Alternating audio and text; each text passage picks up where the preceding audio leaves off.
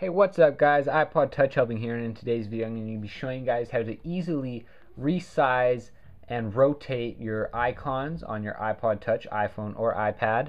And uh, you can also change the transparency. So there's a few different applications that allow you to do this, but I'm going to show you guys this one with Bigify.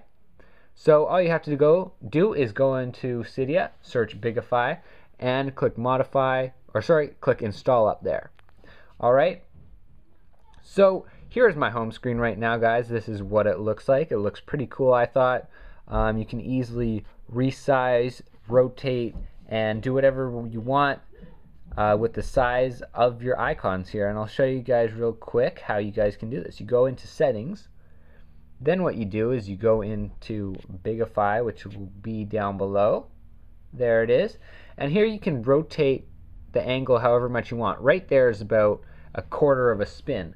So I'm just going to show you guys it all the way down there and we'll increase the transparency and we'll also make the icons pretty big like that. And if you guys ever want to just make it back to normal, you can just click on right there and then click apply changes. Or you can just delete Bigify from Cydia.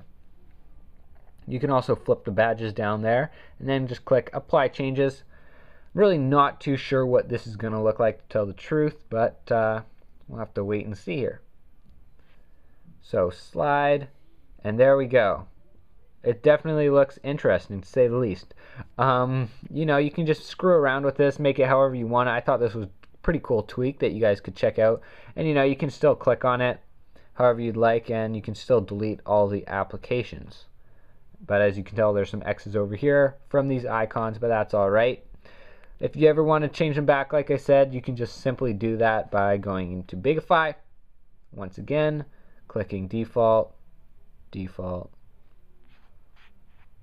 off, scrolling down, and uh, whoops. Then you just basically all you do is click apply changes and it will work.